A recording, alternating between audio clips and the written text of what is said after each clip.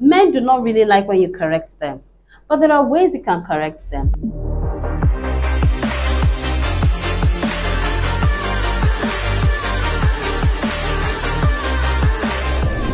Hi, welcome to Noble TV Live with Lily Kevin. Today we're going to be talking about something very interesting and I'm sure you'll get tips on how to do some certain things after watching this video.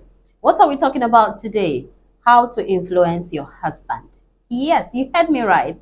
How to influence your husband. As a good wife, how do you influence your husband? Hmm? How do you follow your husband? Well, many wives wish that they can change their husbands for the better. But you cannot change a man. No matter how hard you try to change a man, you can never change a man. You can only influence him to the point that he desires change for himself. How? That's a question on everybody's mind. How? How can I influence my husband? Now listen, I'll take you through tips on how to influence your husband. Number one, make sure the home is peaceful, very peaceful, not a place he wants to run away from. Okay? Let the home front be very peaceful. This will make him spend more time at home with you, giving you more room to influence him. Number two, find out what his vision is and show him that you care about his vision. This way, he will tell you his biggest dreams that he is afraid to tell people out there because he feels they don't believe in him. Number three, appreciate him. Ah, that one is very important. Appreciation is very, very important. Appreciate him for the little he does, and he will naturally find himself doing more for you so that he can be rewarded with more of your appreciation.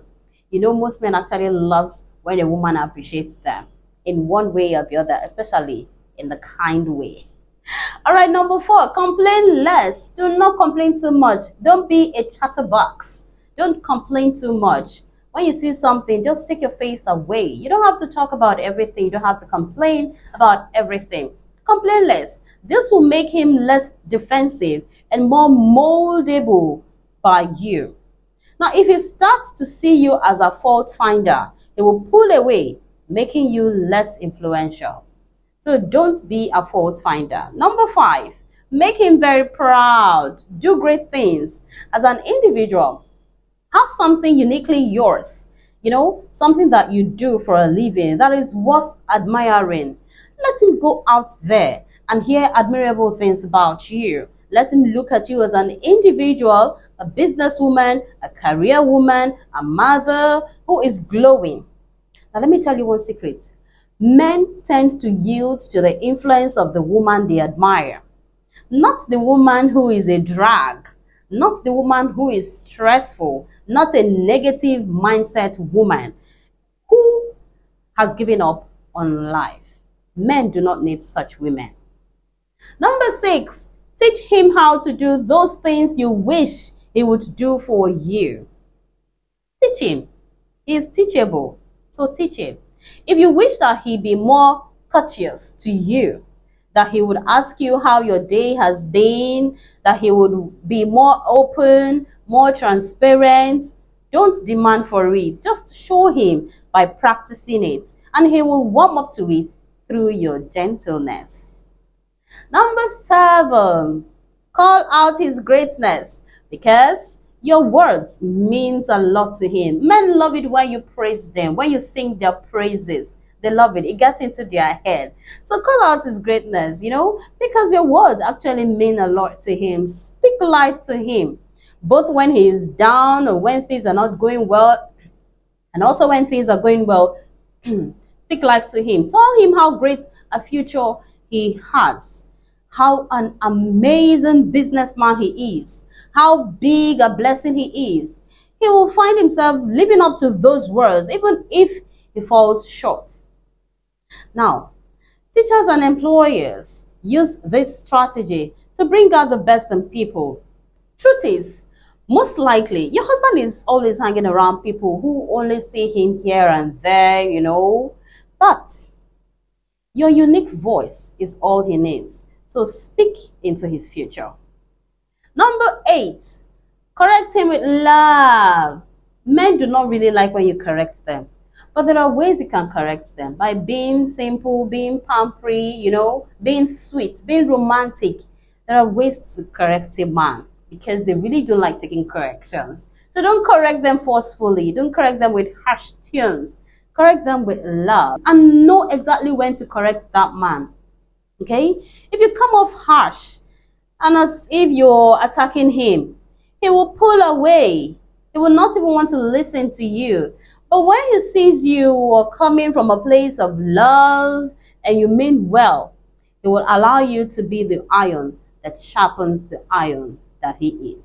Number nine, do not overreact or become overly sensitive and judgmental. Don't overreact. Try to cushion yourself. Try to be calm in every situation. Don't overreact. Men do not like that. Your husband is paying attention to how you react to topics and he will choose what to talk about with you based on your reaction. If he notices that you get edgy when he talks about an innocent female friend, his mother, finances, or his past, he will keep off such topics. Yes, he will no longer be free to discuss such things with you because of the fear of how you would react. But when you are a secured wife, easy to talk to, he will tell you the intrigues in his life. He will tell you about his friends. He will tell you the weirdest things that happened to him. What his mother is thinking, the troubles he has gotten into, the ex who tried to make contact with him, the lady he gave a ride to in the car when it was raining, all because you are easy to talk with. The more you know, the more you will influence him. So when your husband comes on you with such openness, please do not attack. Respond with sense. Number 10, pray for him. It's very important in every marriage, in every life, in every relationship. Pray for your husband. Yes, team up with God to mold him. You are the one who knows your husband's strengths, weakness, temptations, traumas, and struggles. Commit him to God in prayer. Don't forget, a woman wins every battle on bended knees. So always pray for your husband. Do not curse your husband, but pray for him. Number 11, praise him in public places because a man feels more emboldened to be great when his woman highlights his goodness. When you're in public, sing about your husband's praises. Talk about his greatness. Don't belittle your husband. No man loves to be belittled, especially in public places, by his woman. So always sing your husband's praises. Even when he's not doing well, still go ahead and sing his praises. It will make him moldable. Number 12, make him feel needed. Yes, most men love it when you make them feel needed. When you want them, you show that, oh, I want you. They like it a lot. Men long to feel useful. When a man is made to feel he adds no value and can be easily discarded, he feels worthless. But when you remind him of how much he means to you, when you ask him for help, even when you can do it on your own, you just tell him, honey, can you assist me do this? But you can do it on your own, but you just want him to feel useful. You just want him to feel, oh, I'm the man. When you seek his advice, when you request him to sort out an issue in the house and make him feel like he has saved the day. My darling, he will learn, lean more towards you and you will influence him easily. Number 13, notice his growth. As he makes incremental progress towards being a better man, a successful man, spending more time with the children, taking care of you, show him that you see his effort and it will motivate him to do more. Number 14, give him space and be patient. Don't police him. No man loves to be policed like a child. No. Do not choke him.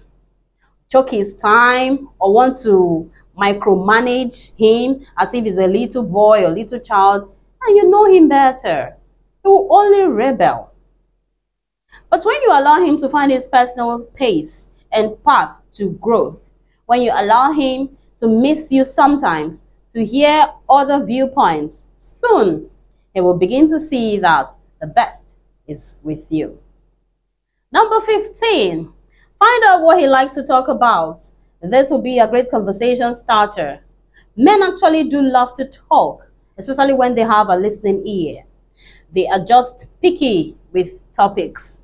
What is his favorite topic? Music, history, business, cars, leadership, science, what have you? Show interest in his topics and he will light up talking with you about them and find himself talking with you about conversations you care about. Number 16. Don't compare him with others. Men hate comparison. Do not, never, ever compare your man with other people. Don't compare him with others, including with yourself. Don't say words such as, I feel like I am the man in this marriage. Why can't you do the way I do things? Other husbands do better than you. Why can't you be like Day's husband? You will lose your husband, I tell you. With this kind of approach, you will lose your husband. You don't inspire a man by comparing him with others, but by speaking to the individual great man he can be. 17. Give him counsel, not orders. Your advice should not be an order, but a suggestion. Your delivery is important. When you suggest, he will ponder on it and find himself paying attention to your counsel. Thus, this influences him. Many married men look back and see how much they have changed for the better through the love of their wives. That is how powerful and influential a woman can be. Thank you so much for watching. I believe you've learned few tips. Do not forget to subscribe, share, and like. Never to be live. I am Lynn Kevin.